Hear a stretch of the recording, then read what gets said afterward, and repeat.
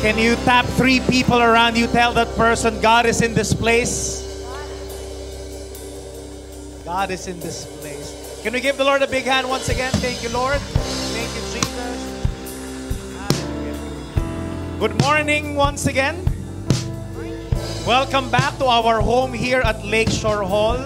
Maraming salamat for keeping updated, for following our page and knowing and following wherever we go. Alam ko, last week hindi natin sinabi, kung hindi tayo sigurado kung saan, but still, you came here, you are in this place because you are faithful, you are committed. Tapigin mo, tabi mo, sabi mo sa kanya, you're committed.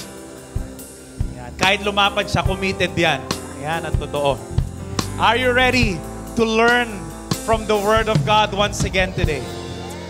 Let's pray our favorite prayer here at the feast. Together, let's make the sign of our faith in the name of the Father and of the Son and of the Holy Spirit. Amen. Lift your hands and pray this with me. Together, today I receive all of God's love for me. Today I open myself to the unbounded, limitless, overflowing abundance of God's universe. Today I open myself to God's blessings, healing, and miracles. Today I open myself to God's word so that I become more like Jesus every day. Today I proclaim that I'm God's beloved, I'm God's servant, I'm God's powerful champion. And because I am blessed, I am blessing the world. In Jesus' name, amen. Let's honor God's word. Thy word is a lamp unto my feet and a light unto my path. Brothers and sisters, I welcome you to the talk two of our series Creed. Sabi nyo nga Creed. Last week we've talked about conviction wherein we we told you that conviction, the creed defines who you are. Today we are going to talk about communion. Sabi nyo nga communion. We are going to talk about the body of Christ, the church, the Catholic Church, tayong lahat. Yan ang pag-uusapan natin ngayon. And our one big message today is you have a family. Sabihin mo nga sa katabi mo yan. Medyo mahaba yung intro ko ngayon, so can I request you to please be seated for a while? And maya-maya patatayin ko rin kayo before we go into our prayer, but our intro is quite longer today, so para medyo makapahinga kayo, alam ko matagal na kayong nakatayo. Alright. Sige. Tapigin mo ulit katabi mo, sabihin mo sa kanya, you have a family. Last week, sino sa inyo nandito last week? Ay, wala kayo dito last week. Nandun kayo sa TCU last week. Kaya taas sa kamay. Those of you who are with us last week, we talked about conviction and we said that the creed defines who you are. Sabihin nyo nga, the creed defines who you are. But communion, in this talk, we are going to define where you belong. Because the creed defines where you belong, kung saan ka napapabilang. Ang tanong ko sa inyo ito, have you ever been a fan or a believer of anything? Sino sa inyo dito naging fan na kayo ng kahit na anong bagay? Taas nga ang kamay. Siguro K-drama, yung iba fan ng milk tea, yung, yung, sino sa inyo dito ang fan ng Apple products? Taas ang kamay. Ayan, Apple products. Ay, konti lang yung mayayaman dito. Ayan. Yung iba siguro Android. Pero alam nyo, meron kayong mga kilalang Apple fanboys? Yung talagang, yung, yung laptop nila, Mac, yung kanilang cellphone, uh, Mac, yung kanilang, uh, yung meron pa silang iPad, tapos lahat meron sila. Meron pang, lahat, iPad, iPad Touch, nagkaroon din sila nun. Yung lahat talaga, tapos every time na magpalit, nag-upgrade sila. And you see, we can learn something about fans and fan groups. And you see, malalaman mo kapag ang isang tao ay believer ng isang bagay, pag siya ay isang fanboy, alam nyo kung paano, merong apat na signs. How many signs? The first sign is this, kapag fan ka ng isang bagay, you are proud to be associated with the brand or the group you are fanboying in. Tama ba? Kaya minsan yung mga Apple fanboys na, minsan nang yayabang niyang mga yan. Bakit? Dala-dala nila yung cellphone. Tapos nakatayo sila sa MRT. Maya-maya kumalag yung MRT, anong gagawin nila? Ginaganito nila sa mukha nung katabi nila. Woo! Ginaganon talaga. Pinapakita ko, kumalog na naman, babalik na naman. Di ba? Tapos ang feeling nila, dahil naka-iPhone sila, grabe, mas maganda. Grabe. Ang yabang nilalabas yung phone. Bakit? Kasi proud sila. Hindi naman dahil talaga mayabang sila. Kundi proud sila, bakit Apple to eh. Tapos minsan yung iba, lalo na yung mga naka-iPhone X ngayon, grabe, naka-AirPods pa palagi. Di ba? Di ba? Minsan yung AirPods parang ang labo, no? parang may kuntil dito. Tapos ano, naka-AirPods yan. Ang mahal ng AirPods yan, pero nakikinig yan ng Spotify, pero pre- uh, free yung Spotify niyan. Walang pambayad ng premium yan. Pero bakit? Naka-Apple siya. Ano pa? Yung mga Apple fanboys, malalaman nyo. Second thing is this, you know, if a guy is a fan of something, if you can't stop talking about it. Tama ba? Makikita mo, wala siya ibang pinag-usapan sa kanyang Facebook post. Uy, magpo-post siya. Nag-leak na yung prototype ng iPhone 15. Grabe, iPhone 10 pa lang, iPhone 15 na yung inaabangan. Lalabas sa 2025, super high-tech. Grabe yung camera, kasing linaw na nung P30 Pro ng Huawei, ganun. Bakit? Ganun ka-delayed, pero fan pa rin siya. But you can't stop talking about it. Number three is this. You defend it against all haters. Tama ba? Kapag fan ka ng isang bagay. For example, meron mga nagsasabi sa'yo, eh, hindi naman maganda yung Apple, mahal-mahal pa. Ang sasabihin mo, hmm, hater ka lang, di mo lang afford. Ah, di ba? Tapos minsan, yung iba ang nagagalit sa Apple, bakit? Ayoko na mag-Apple, bakit? Kasi tinanggal nila yung auxiliary port. Tama ba? Naka-thunder, naka-thunder port pa, thunder, ano ba? Tama ba? Thunderport, Thunderbolt. Sorry, wala akong Apple eh. Ayan, ako hater pala eh. Dalawa lang. Samsung kasi ako eh. So, yung gano'n, di ba? Dinidefend nila. Okay lang yan. Yung AirPods mo, baka mawala. Ano sasabihin nila? Eh, yung AirPods ko, okay lang. May solusyon ang Apple dyan. Nagbebenta sila ng string na tigwa $100. Yung ganun. They will defend it against all haters. And the last but not the least is this. You know, a person is a fan of something if you are happy to see another fanboy. Tama ba? Pag may nakakita, uy, grabe, naka-apple ka. Ako rin, naka-apple ako. Grabe. Alam mo na yung prototype na lalabas sa susunod. Pinag-uusapan ninyo. Tapos, maghanap pa kayo ng ibang fanboy, tapos magiging grupo kayo. Now, why am I sharing this to you? Tanong nyo sa akin, bakit? Because these fanboys, why are they like this? Minsan parang kulto na. Bakit parang baliw na baliw sila sa produkto? Because they believe in Apple so much. And you see, naturally, if you believe in something, you will find other believers too, and you will tend to stick with them, with each other. Napansin niyo yun? Hindi ba't ganun din yung ating creed? That's another gift of our creed. Because creeds creates community. Kaya na-create, lumakas ang ating church because we have a creed. And when you have a creed, it creates community. You see, last week we've talked about belief, beliefs impacting our behavior. But today you are going to learn how beliefs impact brotherhood. Sabi nyo nga, brotherhood. Pero ito lang ang warning, ha? Beliefs by themselves, they are not enough. They can only take you so far. Bakit? Yang mga fans, they will only be there while it's fun. Yung mga loyalists, they will always be loyal if it's fun. But the moment it's no longer fun, believer, believers will fall away. For example, yung mga Apple fans. Yung iba sa kanila, solid Apple fans. Pero nung namatay si Steve Jobs, biglang nabawasan. Bakit hindi na fun? Hindi na si Steve Jobs. Tapos nung biglang lumalabas na yung magagandang produkto ng mga kalaban, katulad ng sobrang linaw na camera ng, ng Huawei, na pagka zoom mo, talagang kita yung pores mo up to the last level, pati blackheads mo. Yung ganun, nabawasan yung fans sila. Bakit? Kasi hindi na fun. But you see, that's why our creed is different from any other creed and beliefs. Why? Yung mga Apple loyalists, they won't die for Apple. They don't die for Apple. But, can you say but? In the past 2,000 years, millions of martyrs have died because of our creed. Bakit? Kasi they believe in it so much. Correct me if I'm wrong, ha? But the last time I checked, yung pagiging martyr, hindi siya nakakatuwa. Tama o tama? Gusto niyo malaman kung bakit? Tanong mo sa katabi mo, martyr yan eh. Ba? Sa pag-ibig nga lang.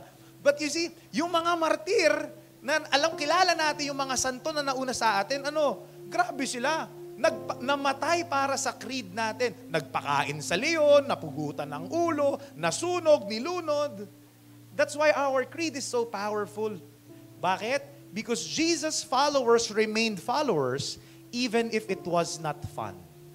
Ang tanong ito, why did they stay? Bakit maraming namatay for our creed? Tanong nyo sa akin bakit? Dalawang powerful reasons. The first powerful reason is this, because they were not just followers of the creed, of a creed. They are following Christ in the creed. Hindi lang yung belief ang pinaniniwalaan. Ang pinaniniwalaan, si Kristo. And beliefs, you, you see, it can come and go. Pero si Lord, He will never go away. He is the same yesterday, today, and forever. And I believe in this. When you follow a person, it's much more powerful. Tama ba? Let me give you an example. Ha. Tayong mga tao, ayaw natin ang sumusunod sa rules. Tama ba? Na, sa mga nakasulat na instructions. Example, ha. halimbawa, merong isang, merong isang bench. Tapos nakasulat, wet paint. Wet paint. Ano gagawin ninyo?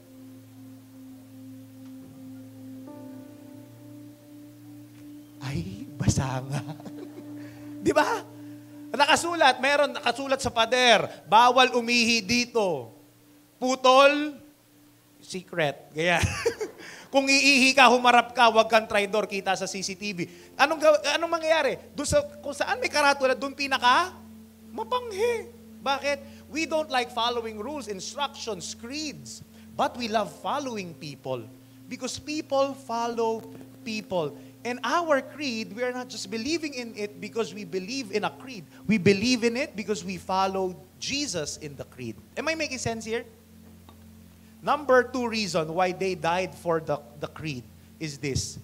They did not belong to the creed, they belong to Christ's family in the creed. Ah, yan yung mas maganda. Meron ng community aspect. They belong to a living, breathing church. And let me show you anong itsura ng early local church nung unang panahon, nung pagkamatay ni Jesus. Ganito po ang itsura as Luke described it in, his, in Acts. Basahin natin ito. Ayan. Can we all read this together? This is our word for today. Together? They devoted themselves to the apostles' teaching and to fellowship, to the breaking of bread and to prayer. All the believers were together and had everything in common. They sold property and possessions to give to anyone who had need. Grabe, no? Sino bang gumagawa nung ganyan? Na-imagine nyo yun? They share everything. Kain sila ng kain. Ano pang ginagawa? They sold their property kapag merong nangangailangan. Sino ang gagawa niyan? Ay, hindi lang kaibigan ang gagawa niyan. Pamilya ang gagawa niyan. Tama ba? Eh buti na lang, wala pang pustiso nung araw, kundi baka naghiraman din sila ng pustiso. Di ba? But you see, that's the kind of church that we have. That's the early church. Ito ang problema. Tanong nyo sa akin, ano? The problem is this. Sadly, the churches today, local churches today, communities, parishes, sometimes, they are very far away from the Jerusalem church. Bakit? Because most local churches today, they are no longer families. Ano na sila? They are gasoline station churches. Anong ibig ko sabihin ng gasoline station church? A gasoline station church is this. Di ba ano bang gasolinahan? Pupunta ka doon, titigil ka, mag-fill up ka, papagas ka, pagkatapos nun aalis ka na. Sadly, some local churches are like that. They come inside, they walk in, get their spirits nourished, makikinig sa misa, mag, mag, magkukumunyon, they will worship, makikinig ng teaching, pagkatapos nun uuwi na. Tapos di man lang niya kinausap yung katabi. Parang yung iba sa atin dito, punta kayo dito, yung inuupuan mo dyan ka naman talaga palagi nakaupo. Yung katabi mo dyan din siya palagi nakaupo. Pero hanggang ngayon, di mo pa rin siya kilala. Tama ba? Kasi minsan yun ang temptation natin. Pupunta lang tayo, ah, ang ganda ng talk, grabe, ang galing ng talk ni Brother Mel, blessed na blessed ako, grabe, naiyak pa nga ako. Pagkatapos noon, uwi na.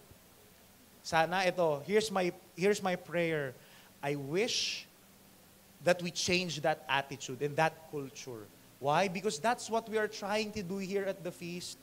Gusto natin maging pamilya. Sabi nyo nga pamilya. Kaya nga ine-encourage natin ang bawat isa na ano, umattend ng light groups, ng small groups. Because that's where real church happens. You journey together. Ay, nako. Ang sarap po paging part ng light group. In fact, ako po, I, I have two important light groups. Ito po, ang unang light group na importante sa akin. Ito po, ang light group po namin, ito po ang small group namin composed of other feast builders. Yan, si Brother Mike, si Brother John Silan, si Brother Drew, si Brother Monching ng Marikina. Yan po, kasama ng mga asawa namin. Tapos, together, we journey nag pinag-uusapan namin yung problema, hindi lang sa ministry ha, pinag-uusapan din namin problema sa pamilya, how can we support one another, pag meron nagkakasala, binabatukan namin, ganyan, tigil mo na yan. Pagka merong victory na nangyari sa kanya, we celebrate about it. But another thing, another blessing for me, and this is an important light group for me, is our leaders and council and pillars light group here at the feast. Ito po ang top leaders ng ating feast dito sa Bikutan. At alam nyo po, hindi lang po kami nagmi-meeting. Nagla-light group din kami. We journey with one another. And I'm so blessed kasi yung mga leaders natin dito sa feast, hindi ko lang sila leader. Pamilya ko talaga sila. Kapag merong problema, sa kanila ako lumalapit. We share with one another. Yung huli naming light group, ay grabe. Eh dahil puro couples kami, ang, ang sharing namin, puro tungkol sa mga reklamo namin sa asawa namin. Tapos nakakatuwa din kasi yung avenue ko para magreklamo ko sa asawa ko. Yun din, avenue ng asawa ko para magreklamo siya sa akin. Tapos yung pala lahat sila may reklamo sa kanilang asawa. Pero ang ending ito maganda. Lahat kami, hindi, ayusin nyo yan. Bakit? We journey with one another. At ito nakakatuwa. Merong iba sa amin, may, may edad na, hindi ko nasasabihin sila Tita Daisy yun, tsaka sa Tito Guy Fernandez.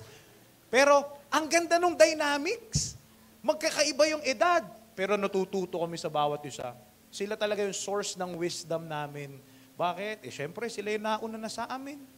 But you see, that's the wonderful thing about the light group. Anyway, meron pala kami isa doon member single. Ayun, so wala lang, nainggit lang siya doon kasi puro couples kami doon eh. Si, si Gladys inggit na inggit siya. So, but that's what I want you to happen to you. I want you to join the small groups, the light groups. Because in light light groups, we do life together. Kapag may nahihirapan, nagtutulungan. Kapag may problema, nagdadamayan. And when something good happens, we celebrate each other's milestones and victories. Amen? Tapikin mo ulit ang katabi mo.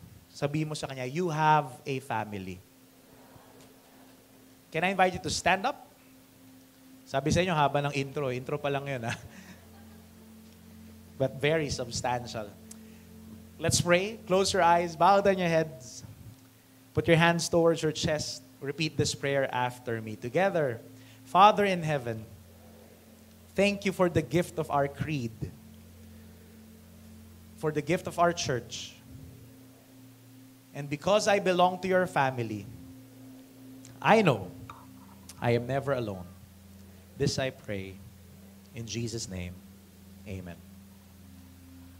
Thy word is a lamp unto my feet and a light unto my path. Give the Lord a big hand. Praise you, Jesus. Speak to us today. As you sit down, tell the person beside you, you have a family.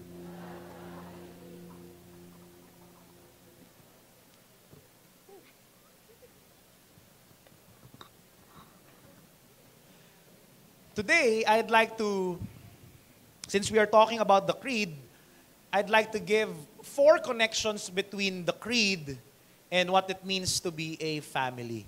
The first one is this. I will relate the first proclamation that we say in the creed. I believe in God. Sabi nyo, I believe in God. I believe in God, actually, umpisa pa lang ng creed natin, umpisa pa lang, we are uttering an act of humility, words of humility. Because when we say, I believe in God, you are saying na hindi ako magaling. I am not God. God is God. Hindi ako dapat ang bida. Si Lord ang bida. I'm not the boss. God is the boss. And you see, my dear friends, yan ang importante. Kasi hindi nyo napansin sa buhay natin, let me apply it in our own lives. Do you know why there are conflicts in marriages, in your families, in your companies, in your church, in your friendships? Alam niyo kung bakit? Alam niyo sa akin bakit? Because usually, someone has too much ego. Sabi niyo nga, ego. Ano ba yung ego? Ego, let me put it in a simpler term, ego is an exaggerated sense of self-importance. Yung feeling mo ikaw dapat ang pinakamahalaga, ikaw ang mas mahalaga kaysa sa ibang tao. Sino mga may asawa dito? Taas ang kamay. Ayan. Sa mga mag-asawa, nag-aaway ba kayong mag-asawa? Siyempre, di ba? Para saan pan nag-asawa ka kung wala kang... Kaya ka nga nag-asawa para meron kang aawayin. At meron kang sisisihin. Di ba? But you see, kaming mag-asawa, madalas namin pinagtatalunan, alam nyo, ang debate namin, halos gabi-gabi, five years na po kaming kasal, ha? Ay kung sino magpapatay ng ilaw. Usually, ano ang rule? Sino magpapatay ng ilaw? Sino? Yung malapit. Tama? Tama. Sa aming mag-asawa, ang mas malapit ay yung misis ko. At syempre, ang naturally, logically, ang sasabihin ko, ikaw ang mas malapit, ikaw ang magpatay. At higit sa lahat, kaya kong matulog ng nakabukas ng ilaw. Ikaw hindi. So, ikaw ang magpatay. Pero nung sasabihin niya, pagod ako. At ako syempre sasagot, ah, ikaw lang ba ang pagod? Pagod din ako. Nagtrabaho ako. Buong araw ako nagbigay ng talk. Ay, sasagot naman siya, eh, ikaw nag-talk ka lang. Ako nag-alaga ako ng bata. Palit tayo. Gusto mo ikaw mag-alaga ng bata, mas ako na lang magtatrabaho. Pag may makeup gig kasi siya, ano, para sa kanya, freedom yon dun sa kanyang anak. Bakit? Kasi ang kulit talaga ng anak namin. Oh, pero, sige, ako na lang. Sabi, ako na lang, ako na lang ang magtatrabaho. Ikaw mag-alaga ng bata, palit tayo. Pagod din ako. Ayaw. Ano sasabihin niya? Mas pagod ako. O kaya sasabihin ko, hindi, mas pagod ako. Ay, nako, ito ang problema eh.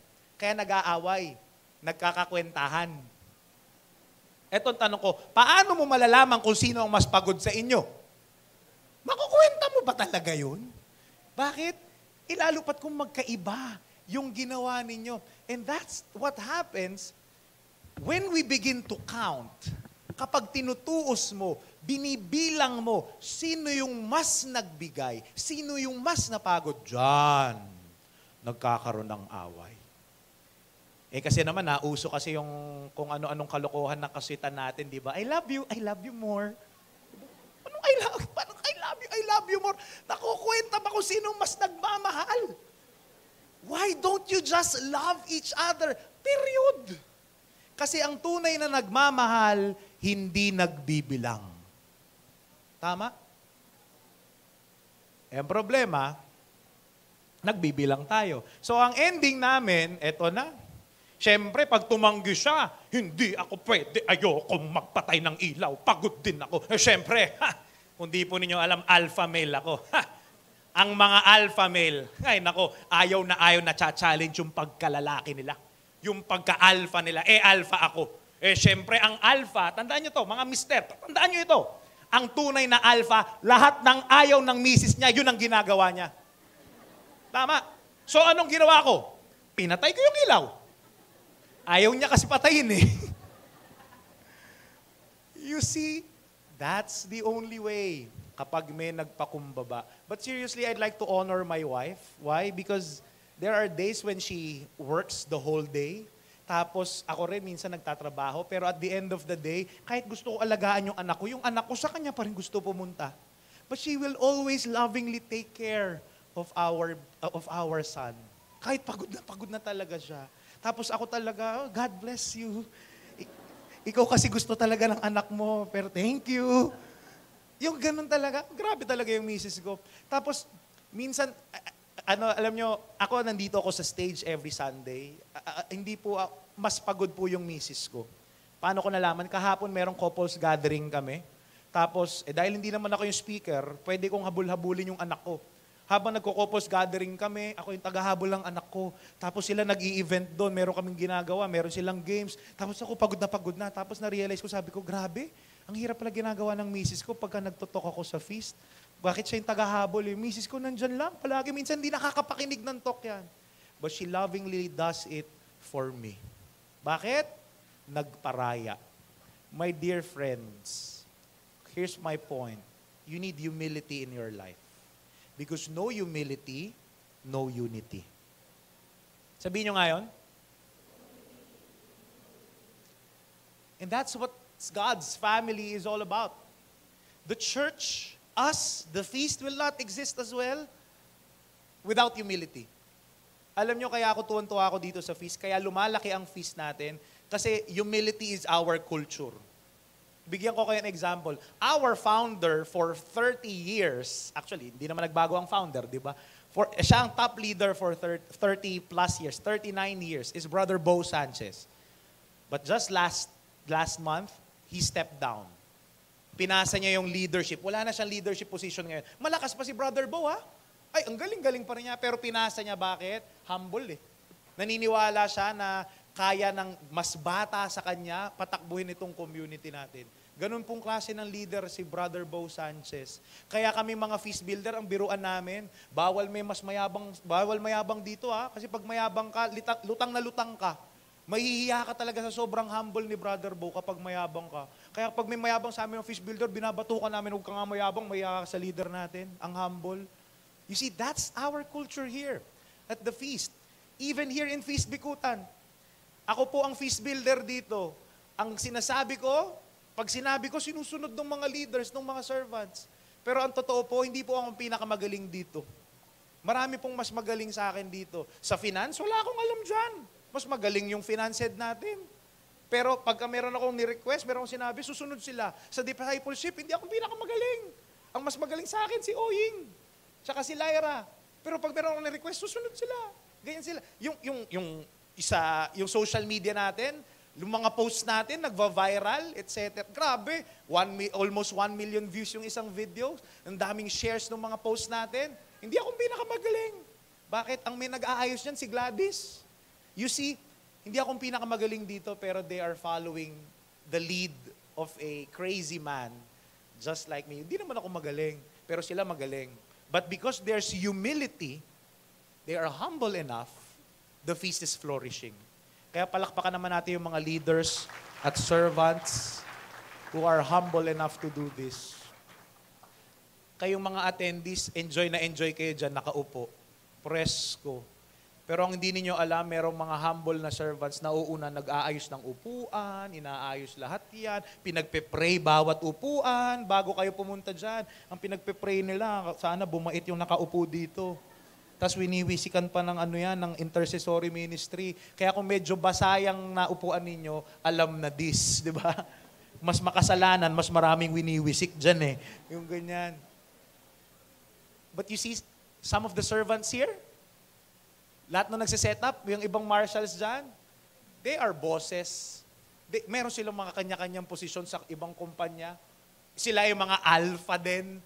But you see, they are humbly doing this to serve God's people. Palakpakan natin yung mga humble na servants natin dito sa feast. Ayan. That's number one, humility. Number two is this, when we say, I believe in God the Father. That line itself says that when we say, I believe in God the Father, ibig sabihin we are brothers and sisters. In fact, in Genesis, nung si Cain, he killed his brother Abel, Si Lord, hinanap si Abel. Abel, where are you? And Cain asked God, Am I my brother's keeper? Ayan. Tanungin mo nga sa katabi mo, Am I my brother's keeper? Minsan yan ang problema natin. Sarili na nating kapatid, hindi pa natin inaalagaan. Ito nga nakakalungkot eh. Minsan, mas mabait pa tayo sa mga kaibigan natin kaysa sa mga kapatid natin. Tama? Tinatamaan ka na ba? Hey, let me give you an example. Kami po, lima po kami magkakapatid. Tapos lahat po ng kapatid ko nagsuserve sa feast. And four of my other, uh, sorry, so, ilan pala kapatid? So lima kami, merong akong apat na kapatid. Yung tatlo doon sa, tat, sa apat kong kapatid, nagsuserve dito sa feast bikutan. They're also leaders here.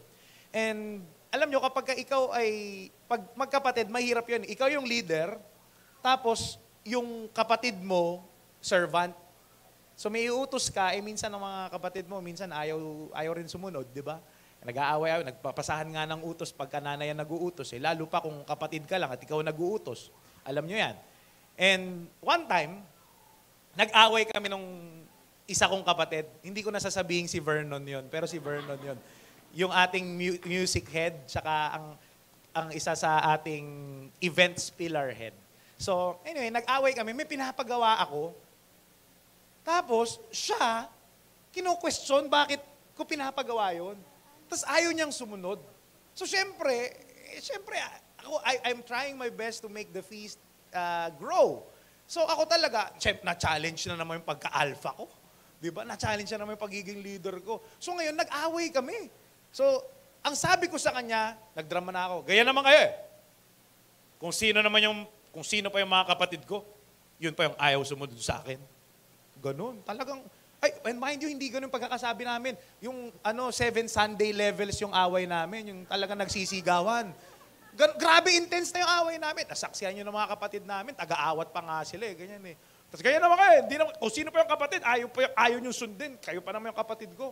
Alam mo, sagot sa akin, grabe, seven Sundays levels nga eh.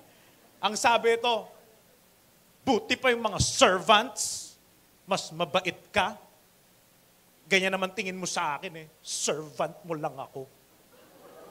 Ganun. Sabay walling na ganun. Eh. Siyempre, mga kapatid ko, tama na, tama na, ganun. Hindi, hindi naman ganun eh. But you see, nung pagkasabi niya sa akin ron, it hit me. Sabi ko, oo nga, no? Bakit ba minsan mas mabait pa ako dun sa mga servants sa feast? Kaysa sa sarili kong kapatid. You see, how about you in your families? Are you your brother's keeper? But let's extend it a bit more. Are you your brothers and sisters' keeper, not just in the family, but in the family of God? You see, ako mahal ko po ang mga kapatid ko. Ay, nako, kapag, ay, kapag may nang away dyan, aawayin ko din. Gaya ng tunay na kapatid, di ba? At higit sa lahat, kapag may nang asar dyan, hindi ako papayag. Bakit? Kasi ako lang ang pwedeng mang asar sa kanya. Yan ang tunay na kapatid. But you see, Mahal natin ang kapatid natin, paglalaban natin ng patayan yan eh. Kaya sana ito ang prayer ko. Hindi lang yan sa pamilya natin, kundi sa buong body of Christ. Sige, tingnan mo yung kapatid, katabi mo. Kapatid mo yan eh. Kapatid mo yan, kahit di mo kamuka. Kahit di mo kaugali. Kahit Team Julia yan at Team Bea ka, kapatid mo pa rin yan. Kailangan mong tanggapin. yung ganyan. At ito ang maganda ang pamilya, kahit magkamali, kahit magkasakitan, tatanggapin at papatawarin pa rin ang isa't isa. Amen? Amen. Number three, I believe in Jesus Christ. Sabi nga Jesus Christ. Bakit importante ito? Alam nyo, naniniwala ko, si Jesus lang ang nagpapastay. Grasya lang ng Diyos, si Lord lang ang nagpapastay at nagpapalaganap ng ating Catholic Church, ng ating church, ng ating buong body of Christ. And you see, I have been serving in community for many years. At alam nyo kung ano ang masaya sa buhay community? Tanong nyo sa akin ano? Ang nagpapasaya sa buhay community ay yung mga tao. Bakit? Kasi nagiging pamilya mo na sila, yung mga ka-brother, sister mo dito sa community, nagiging ninong-ninang ng mga anak mo, tapos later on, sila yung magiging, tro- yung mga anak yung magiging magkakaibigan din. Talagang you build your life around them. You journey with them. At ito nakakatuwa. Nung yung tatay ko, nung na-heart attack siya, ito lang, recently lang, sino ang tumulong? Yung mga feasters din. Nakabuo kami ng malaking amount. Bakit? Ang daming tumulong sa amin. Bakit? Kasi pamilya na. That's the beauty of the church. The people around it. But, etong tanong ko sa inyo, alam nyo ba what makes community life difficult? Ano nagpapahirap? Tanong nyo sa akin, ano? Mas malakas pa dyan? Ano? Yung mga tao din. Bakit? Dito sa community, sa church, you will meet all sorts of crazy people. Some people are selfish. Some people are hot-headed. Mainitin, masakit ang ulo, masakit magsalita. Yung iba, insensitive. Yung iba naman, sobrang sensitive. Pusong mamon. Bigyan ko kayo example, one time, di ba, bumabati ako dyan sa labas, nagte-thank you ako, pinagpe-pray ko yung mga gusto magpa-pray sa akin. May lumapit sa akin. Babae, sabi sa akin, galit ka ba sa akin, Brother Velden? Sabi ko, sa loob-loob ko, hindi nga kami masyadong close, paano kung magagalit dito? Sabi sa kanya, hindi naman. Bakit mo naman nasabi? Hindi mo kasi ako binate. Last week, nandun ako, dinadaan-daanan mo lang ako, di mo ako binate. So ang sagot ko, sorry ah, baka hindi kasi kita nakita, hindi ko sinasadya. Sabi niya, imposible hindi mo ako nakita. Sorry, baka talagang hindi kita nakita talaga, promise. Sabi niya, yun nga yung problema eh, hindi mo ako nakikita. Drama. Diba? Eh sabi ko sa kanya, eh baka kasi busy, nagre-rehearse ako ng talk sa isip ko, kaya hindi kita napansin. So anyway, sabi ko, pasensya ka na talaga. Hindi ko sinasadya. The following week, eto na. Nakita ko na naman siya, sabi ko, ha, sisiguraduhin ko, babatiin ko siya. So pagdaan niya dito, malayo pa lang naka-eye contact na akong ganyan. Paglapit, sabi ko sa kanya, Hi, sister, ganyan. Ang sagot niya sa akin, hmm? Kaya mo lang naman ako binati kasi pinaalala ko sa'yo last week. Ano ba talaga, kuya? Di ba? Ayoko na sa earth. Alam nyo, isa lang yan sa mga example na nagpapahirap ng buhay community. But you know why I'm still here? Alam nyo, ang daming mga masasakit sa ulo na tao dito sa feast, sa community. But alam nyo, why am I still here? Tanong nyo sa akin bakit? Because Jesus served me first. Jesus served me first. Alam nyo, may pangapagkakataon. Sa creed, we say, I believe in the forgiveness of sins. This church, the body of Christ, this community here at the feast as well, this is the messy and imperfect family of God. And it will only be possible because of God's forgiveness. Ay, naku, puro makasalanan po ang mga tao dito sa feast. Tingnan mo yung katabi mo, makasalanan yan. Pero tingnan mo rin yung sarili mo, makasalanan ka din. Alam nyo, kaya lang naman nag-work ang church, ang community, itong feast, hindi dahil sa perfect ang mga tao dito, kundi dahil willing magpatawad ang mga tao dito. Amen? Kaya ako iniisip ko na lang, pag may nagkamali sa akin, ay, if God has forgiven us, how can we not forgive one another? Eh kasi truth be told, maraming nakakainis dito, maraming nakakabwisit na tao dito sa community, maraming makasalanan dito, pero ang pinakamas kasalanan actually dito, yung taong nakatayo dito sa harap. Ako po, pag naisip ko, grabe naman to. Sama naman ang ugaling to, sama, ng, sama ang, ang sakit magsalita. Sumaalala ko, ako rin palang minsan masakit din ako magsalita. Well, grabe naman to, grabe ang kasalanan nito, gastador, grabe ang pera nito. Eh, pero naalala ko, dati pala akong sugarol. Binago lang ni Lord yung buhay ko. Oh, grabe naman ito, nang bababae pa, nang lalalaki. Uy, ako naalala ko, teka lang, dati din na, nagkamali din ako sa girlfriend ko noon na, nang babae din ako noon na. Kaya, pag naaalala ko yun, doon na ako biglang nagme-mellow down. Magpapatawad. You see, the church is not a museum for saints, it's a hospital for sinners. But the more important thing is this. When you get healed, Don't forget that you were once broken. That's why be kind to those who are sinning and broken so that one day they can be healed just like you. Kaya pag minsan na nagsabi sa inyo, feast ka ng feast, sama pa rin ang ugali mo. Ay sabihin mo lang sa kanya, imagine mo na lang kung di ako nag-feast. Mas masama ugali ko. Diba? Kaya nga tayo kailangan uma-attend sa ganito nagiging part ng simbahan. Bakit? Kasi doon tayo unti-unting binabago ng Diyos. Amen? Ayan. Be patient with one another. Number four is this, and this is the last one. The last connection is when we say, I believe in the communion of saints. Actually, before niyan, meron din, I believe in the Holy Catholic Church. May nagtanong sa akin, brother, naniniwala naman ako kay Jesus. Nag attend pa nga ako ng mga ibang born-again churches kasi gusto ko doon, maganda yung praise and worship nila doon. Ang tanong niya sa akin, why be Catholic if I can be just Christian? Natanong niyo na ba yon? Ang, ang contention pa ng iba, pare-pareho lang naman yan. Jesus din naman yan. Si Lord pa din naman yan. Let me tell you why. The gift of the Catholic Church is this. Tanong niyo sa akin ano? It's called authority. Sabi niyo nga authority. Jesus, when he, when he, before he died, he passed on the building of the kingdom to his disciple. Anong pangalan? Si Peter. Sabi niya, Peter, I will give you the keys to the kingdom. You will be the rock. Ikaw ang magiging bato on which I will build my church. So sa kanya ipinasa. So, importante sa atin yung authority of teaching kasi kapag, tandaan nyo ito ah, ang contention ng mga ibang kapatid nating Kristiyano is that everything that they preach is Bible-based. But you see, the Bible is not enough in itself, ha? I mean, it's complete, pero hindi lahat ng nakasulat, hindi lahat ng kailangan nating malaman ay nakasulat sa Bible. Yun ang tinatawag nilang sola scriptura. The Bible alone, the word alone. You see, the reason is this. In fact, bago nasulat yung Biblia, ang nagsulat niyan sino? Tanong saan sino?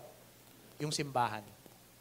Sila Peter, yung mga bishops nung unang panahon, sila, nauna yung community, nauna yung oral tradition, yung mga tradisyon na ginagawa bago po, bag, test, bago nagkaroon ng Biblia.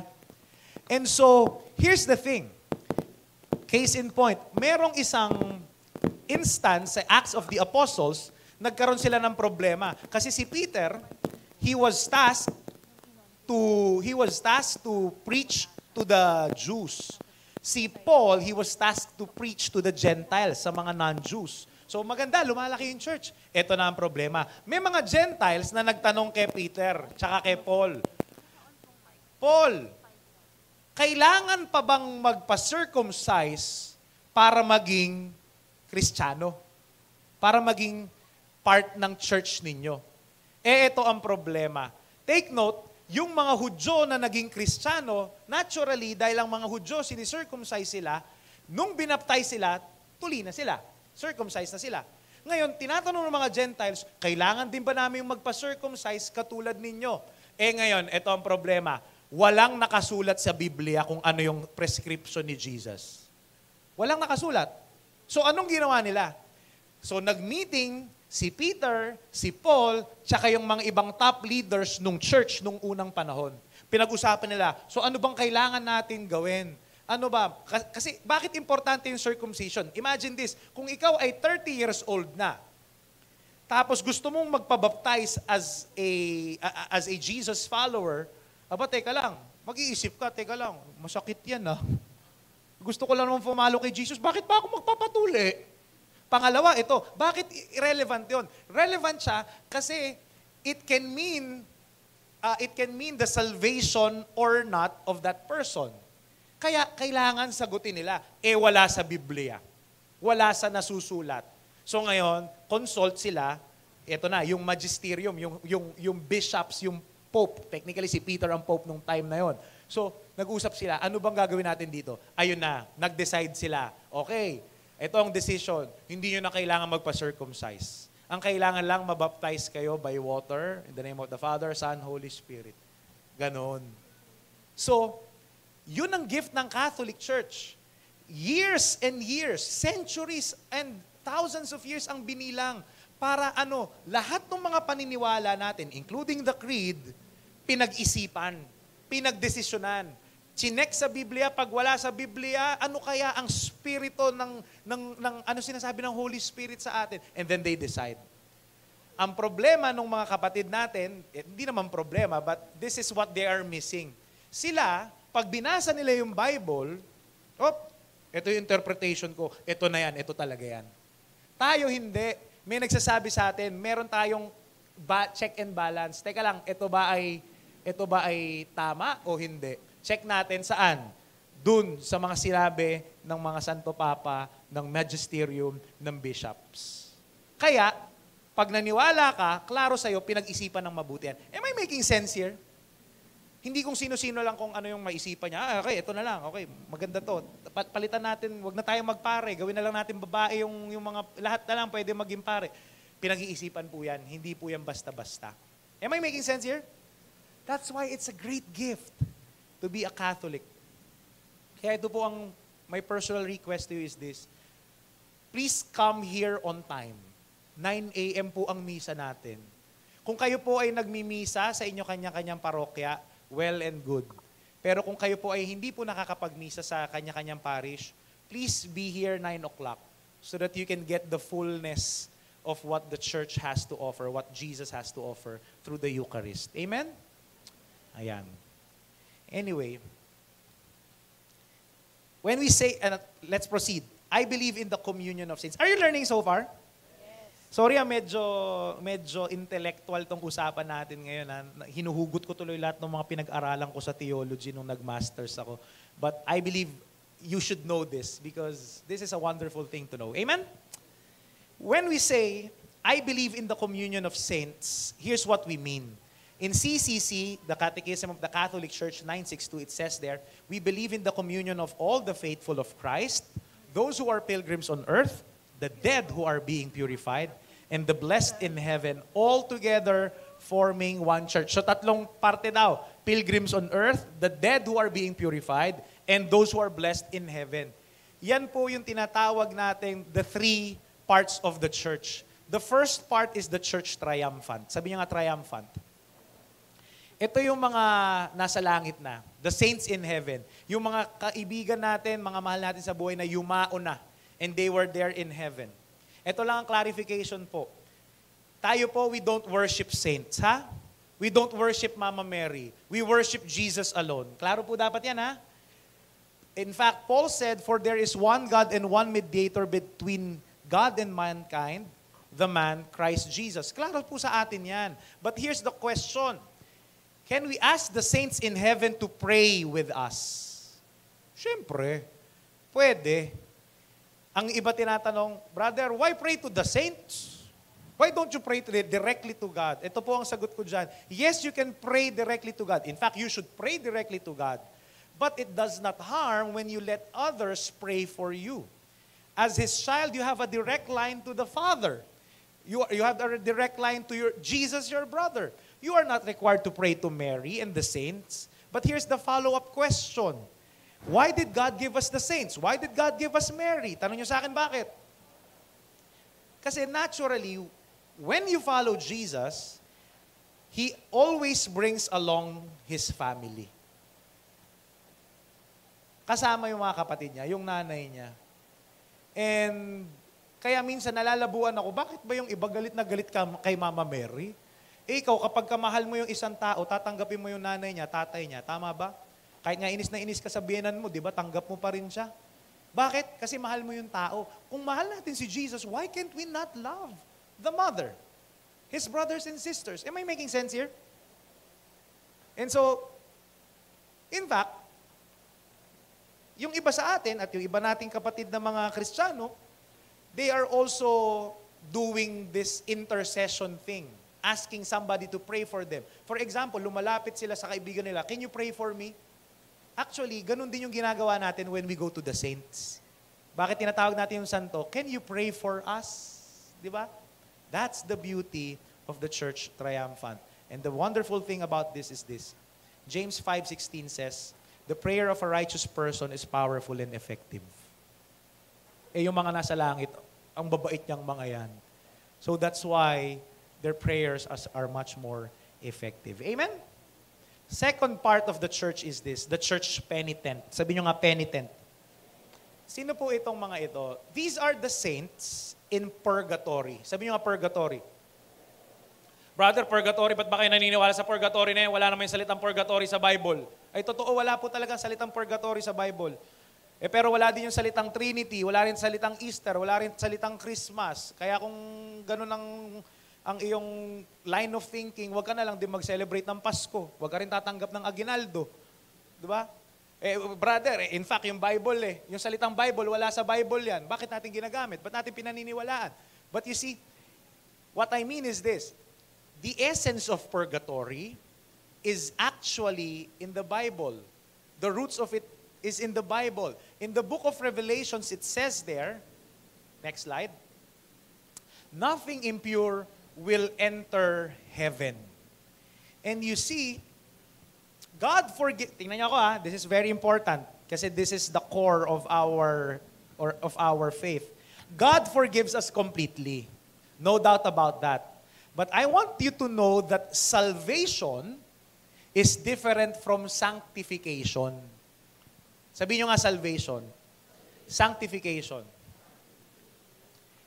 Hindi porket you accepted Jesus as your personal Lord and Savior, eh saved ka na.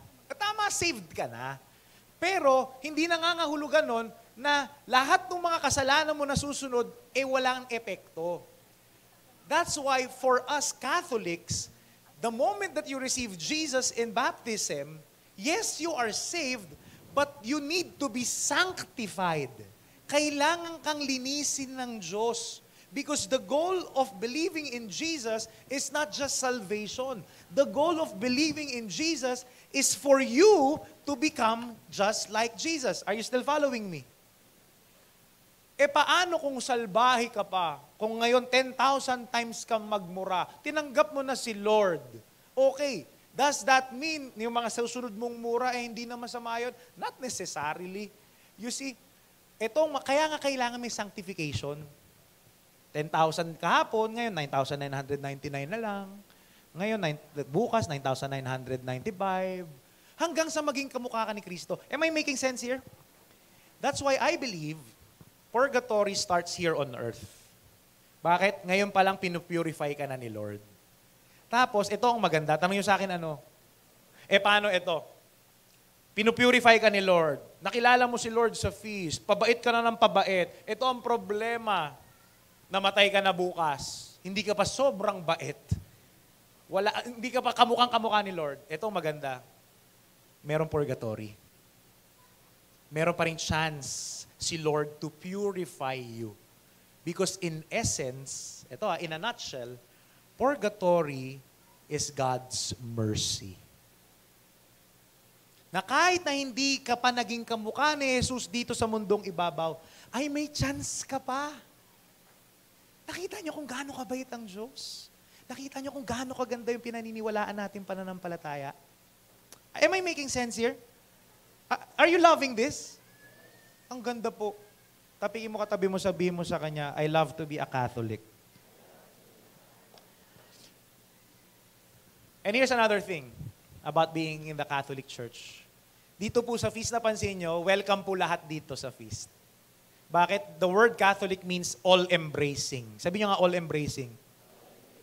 Lahat niyayakap natin, lahat welcome. The unchurched are welcome. Kahit masama ka pa, wini-welcome natin dito. Yung mga taong niloko ng asawa nila, wini-welcome natin dito. Yung asawang manloloko, wini-welcome natin dito. Yung kabit nung manloloko, wini-welcome natin dito.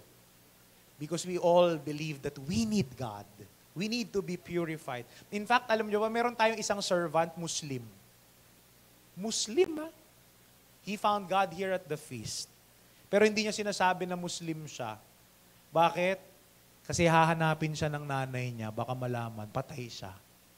Pero alam nyo, inisip, tinitiran niyo, sino ba kayo mukhang Muslim dito? Judgmental nyo. Ganun po. Lahat dito all embracing. Meron din tayong member na Iglesia ni Cristo. Pero dito, binabago ni Lord. Yung isa, nagpa-convert na, naging katoliko na. Pero dito hindi natin pinipilit. Napansin nyo dito sa feast, walang pilitan. Because that's what Catholic means, all-embracing. Kahit na magbago siya o hindi. Amen? Third and last is this. I'm about to end. The church militant. Sabi nyo nga, militant. The church militant are the saints on earth. Tayo po yun. Why militant? Because we are an army that follows a commander-in-chief named Jesus Christ and we are trying to conquer the world with God's amazing love. And you see, if you have turned over your life to Christ, in God's eyes, you're already a saint. Tapingin mo katabi mo, sabi mo sa kanya, you're a saint. Gusto nyo practicein natin? Yung pangalan ninyo, kabitan nyo ng saint. Halimbawa, Saint Velden. Sige nga, sabihin nyo pangalan nyo. One, two, three, go. Lakasan nyo. Ba't kayo natatawa? Parang, hindi bagay. Kahit Bernard ang pangalan mo, di ba? Saint Bernard, parang aso lang, di ba? Tingnan mo ulit yung katabi mo. That person is a saint. In fact, you are a saint in training. This is your identity. This is your destiny. And this, the church, is your family. Amen? Can I invite you to stand up? Sabi mo sa katabi mo, you have a family.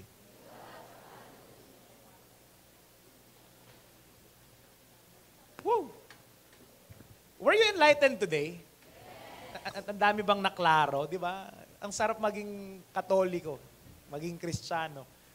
Ngayon, pagka binasa natin yung Apostles' Creed, may kurot na sa puso. Bakit? Klaro sa atin eh. Amen? And before I end, here's my request to you. Kanina pa ako sabi na sabi, you have a family, you have a family.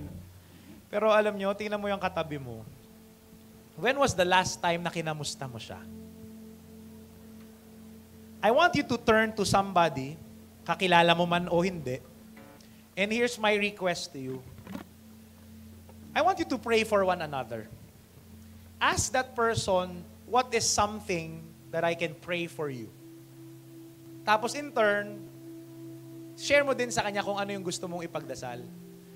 Kasi alam nyo, ang, problema natin, minsan ito, sinasarili natin yung pananampalataya natin. Feeling natin, eh, okay naman, nagpe-pray naman ako kay Lord. I have a personal relationship with Jesus. That's all that matters. Let me tell you this.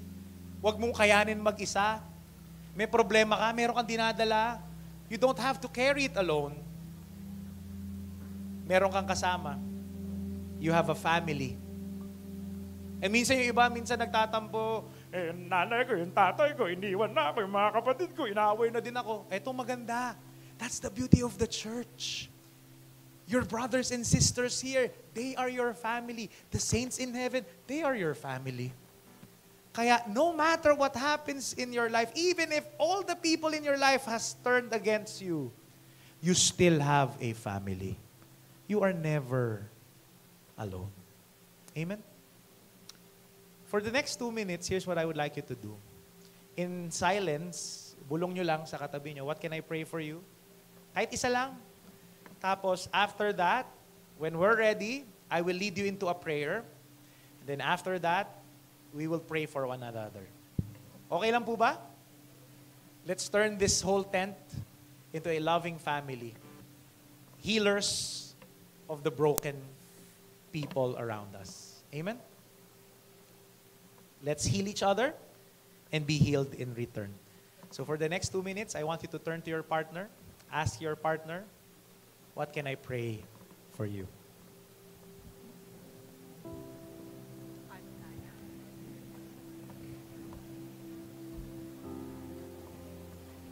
Kung kayo'y mag-asawa, chance nyo na yan para malaman na laman ng puso ng asawa ninyo. Kapatid, kaibigan, ganyan din.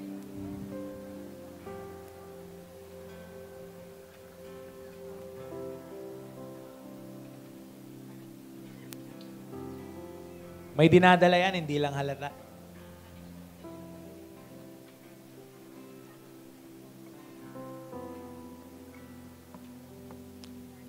Yung kabilang partner naman, pakinggan mo.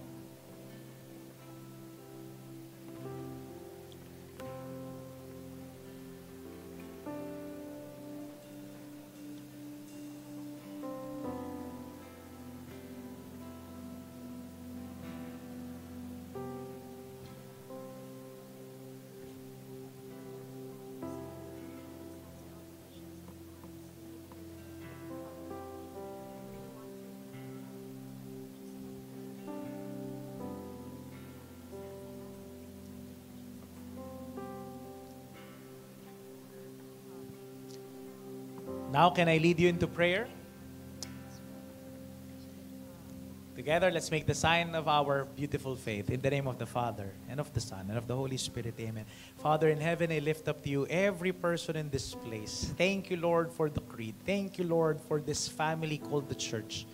And Lord, some of us here, we may not be blood related, but Lord, in spirit, we are related because of what you have done in the cross. And so, Father, today, we ask you, and all the saints in heaven, including Mama Mary, to pray for us, to pray for our prayer petitions. For we believe, Lord, that you are the Lord of all. We believe, Lord, that when two or three are gathered in your name, you are there in our midst. And Lord, we know that the prayer of a righteous person and the prayer of a selfless person praying for one another is most potent because we are praying selfless prayers. We are not praying for ourselves. We will be praying for our dear friends. And so today, oh God, we ask you that you listen and answer our prayers as we pray for one another. You may now begin, you may place your hands on the shoulder of your friend Sige lang, touch the person beside you, yung prayer partner mo. And you may now begin praying a silent prayer for that person.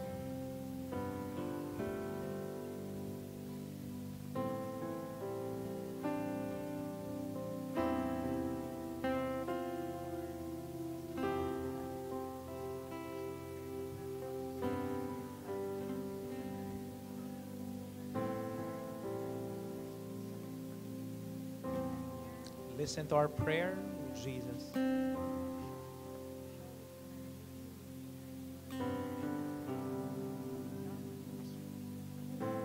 When you're done praying, yakapin mo lang na mahigpit yung katabi mo. Paramdam mo lang yung pagmamahal ng Diyos sa Kanya.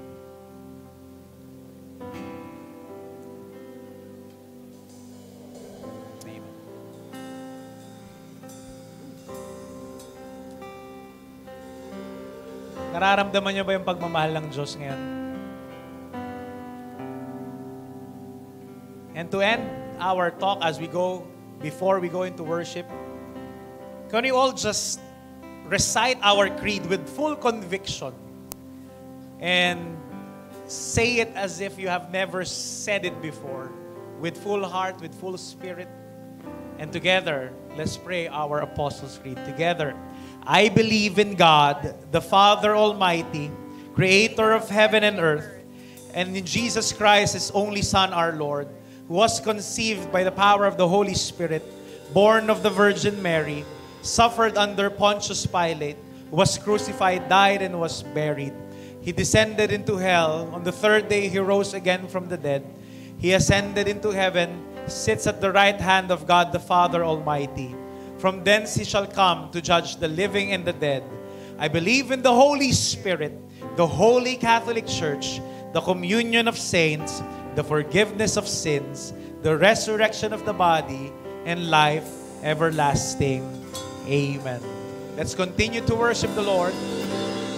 For we have a family. Remember that everything that we have shall be built on love, on Jesus and on His church. Continue singing to Him.